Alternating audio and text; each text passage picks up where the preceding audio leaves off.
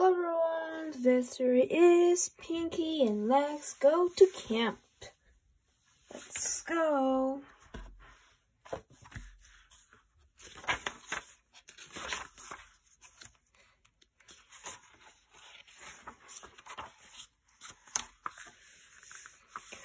Chapter 1 Camp Wakatochi Pinky, Pinky! Lex knocked loudly on Pinky's front door. I got my letter, she cried. Did you get yours? Pinky came to the door and opened it slowly. Yes, he said, letting his friend in. What's so exciting about it? What's so exciting about it?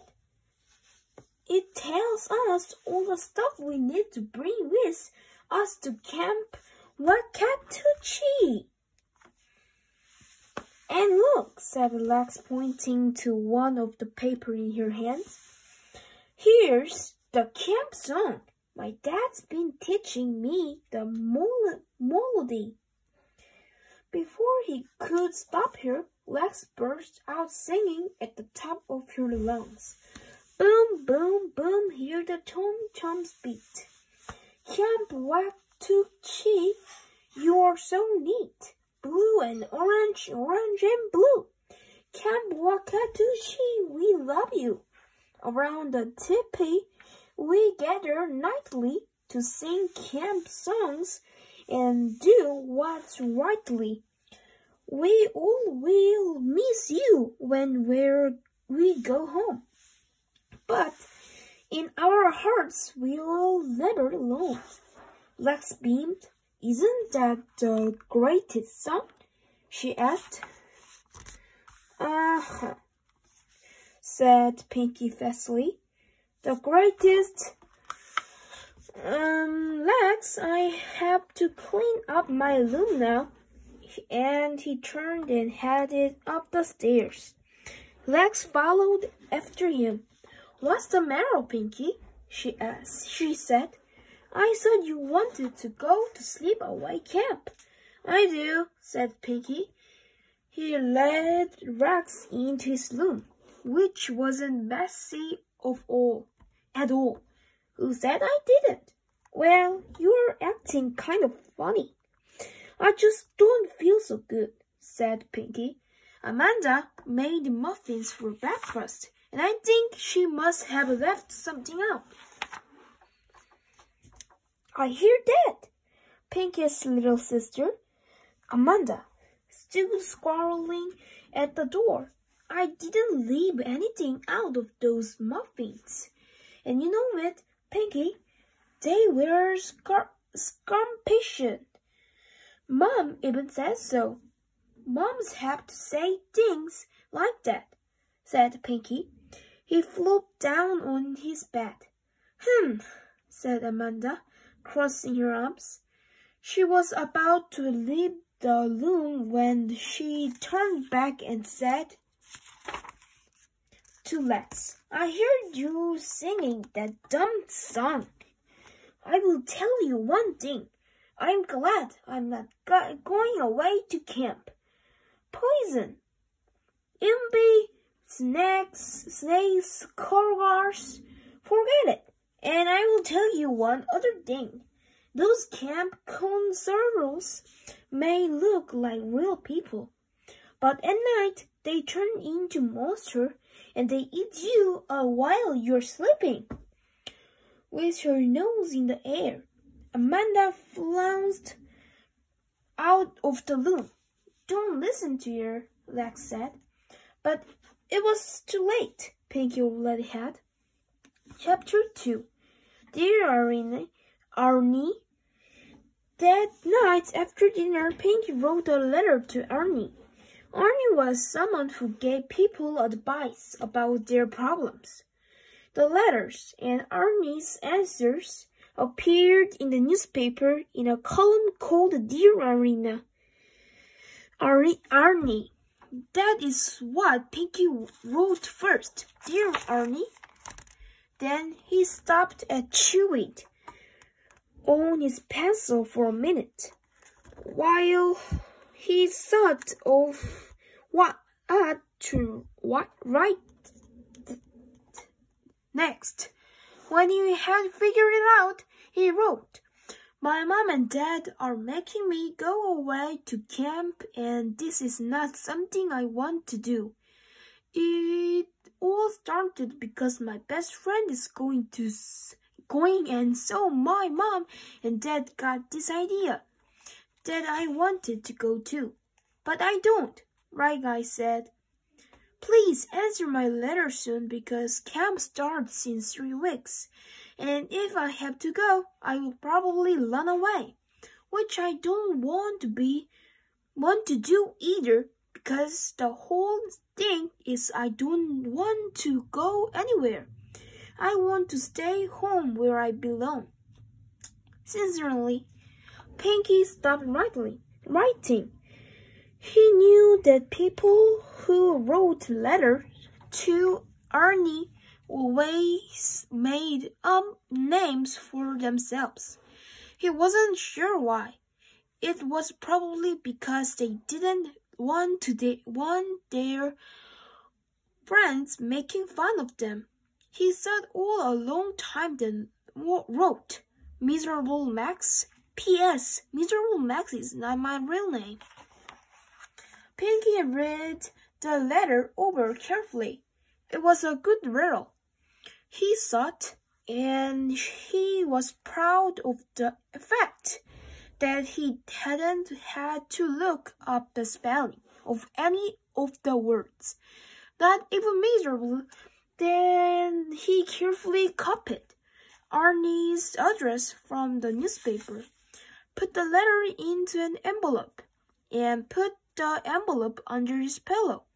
He would mail it first thing the next morning. Chapter 3 Practice Every day Pinky checked the newspapers for Arnie's answer to his letter. Two weeks went by. Arnie answered a man whose wife snored so loudly he couldn't sleep. He answered a woman who didn't know how to tell her husband that his cooking was making her sick. He answered a girl whose parents wouldn't let her get his ear pierced. But he didn't answer. Pinky. Pinky began to worry that Arnie had never received his letter. All the while, Rex was getting more and more excited about camp. Come on, she said to Pinky. One sunny morning, it's a perfect day for practicing your face fastball. She kept slamming a ball into the catcher's mitt she'd gotten for her last birthday. What's fastball? Pinky muttered. Anyway, I don't want to practice Lex. Let's lie, ride our bikes. Oh, Pinky, Lex said. We can ride our bikes anytime. We need to get it in shape of camp for camp. Just think two whole weeks of softball and volleyball and tennis and swimming and boating and Okay, okay, said Pinky. The more Lex talked, the more Pinky's stomach began to hurt. My dad's been been practicing with me every night when he comes for ho home from work. Rex said as they ran across the yard. I will show you some of the neat stuff he taught me. He, she told Pinky meat. First you catch and I will show, she said. Ready? Ready as, as I will ever be, said Pinky. He watched as Rex squinted her eyes, wound up her practicing arm. She sent the ball flying so fast he couldn't hardly see where it was going. He scrambled to catch it, but missed by a few feet and tumbled into a bush. You aren't trying, Rex shouted as she leaned to retrieve, retrieve the board. Was you? Make Pinky shouted back. He could feel his cheeks growing hot. Pinky missed the next board, and the next, and the next. Finally, he threw the meat on the ground and said, Forget it, Lex. I'm no good. You just need practice, said Lex. My dad says practice makes. But Pinky didn't wait to find out what Lex's dad said. He was already most of the way home. Orange and blue. The next day, Pinky's mother took his shopping for camp's clothes. Amanda came along. I don't know why mom's wasting money on the new clothes when you are only going to end up being eaten by camp counselors. Amanda whispered in Pinky's ear after after Pinky had tried on about a million shirts and pails of swords, or who knows, maybe you you will fall in the lake and the piranha fish will get you. Stop it, Amanda, said Pinky. He looks he looked up at the pile of clothes on the counter. Everything was orange or blue. These were not his favorite colors. Why do I have to wear those? he grumbles. Because everyone is asked to wear camp what to cheek colors. His mother told him. Besides, Peggy, it will be it will be a nice change from what you usually wear. Everyone needs a change now and then. I don't, Pinky said. Blue, but I bought so softly no one here. After they had bought everything Pinky needed for camp, his mother suggested that they stopped for ice cream. As she dug into her hot fudge sun Sunday, um, Amanda licked her lips and said cheerfully, You know, Pinky, you are not going to be able to take your stuffed animals to camp with you. This thought hadn't occurred to Pinky before he looked at Amanda with wide eyes. So, guess what? She went on. I'm going to keep all of them in my room. No way, Pinky said. He said it so loudly that people at the next table looked over to see what was wrong. Well, you're not going to be here, Amanda said, so there's nothing you can do about it. Mom! Pinky finally shouted. Shh, said Pinky's mother. Then turning to Amanda, she said, Pinky's animals will stay in his room where they belong. But end of discussion, Amanda. I don't want Pinky to have to worry about his animals while he goes. But Mom, said Pinky, can I even take Pritchell? Pritchell was a pig and Pinky's favorite. Of course you can. Pinky smiled as Amanda stuck out her tongue at him, but his smile quickly faded. He wondered what else he might have to worry about while she was away. Two whole weeks, Amanda could cause a lot of trouble in two whole weeks. He thought about getting a look for his room, but he knew his parents wouldn't let him. Suddenly, he wasn't hungry anymore. If you aren't going to fish that, finish that, Amanda said, eyeing his half-eaten dish of ice cream. I will.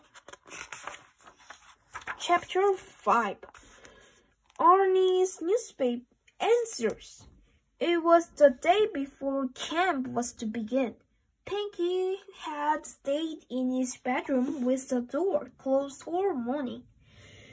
He had told his mother he was going to pack, but instead he spent the whole time reading comics and thinking about running away from home. Amanda was at day camp, so the house was very quiet. All at once there was a knock on his door. Pinky? His mother called softly. May I come in? Pinky jumped up. Quickly he threw his suitcase on the bed and tossed some clothes in, into it. Sure, said she. He said. The door opened. Pinky's mother entered with a newspaper tucked under her arm. Almost finishing packing? She asked. Sort of, said Pinky. His mother smiled when she, she, she saw the jumbles of clothes on the bed. You pack the way you, your father does, she said. Then she unfolded the newspaper. May we talk for a minute, Pinky? Pinky's mother moved the suitcase and sat down on the bed. There's something I'd like you to see, she said, patting the bed. Pinky sat down next to her. He saw at once that the newspaper was open to. Dear Arnie, I think you will find that first letter interesting, she said. Pinky could hardly believe it. There at last was his letter to Arnie. He didn't bother reading it. It was all there, every word. There too was Arnie's answers. Dear miserable Max, if this is your first time staying away from home, I can understand why you don't want to go. After all, it can be very scary to leave everything you know and stay. Someplace brand new. But I would guess your parent knows you well enough that they feel you will do just fine. Besides, camp is a great growing experience. Believe it or not, you will feel a lot older by the time you get home. Pinky sm smirked. What did he care about feeling a lot older? Then he lit. P.S. Have you told your parent how you feel? Pinky didn't know what to say. Luckily, his mother spoke